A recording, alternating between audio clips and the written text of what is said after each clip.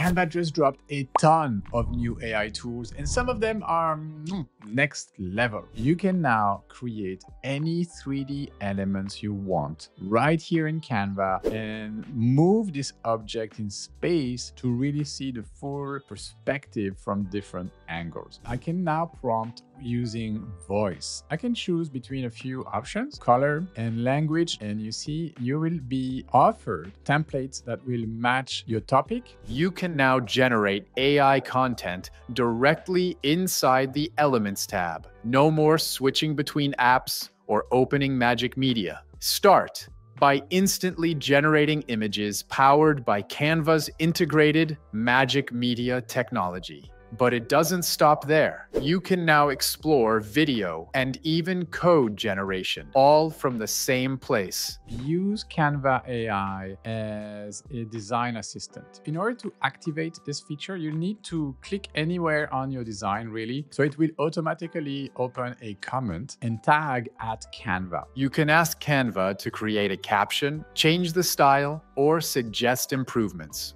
Watch the long video tutorial for more details.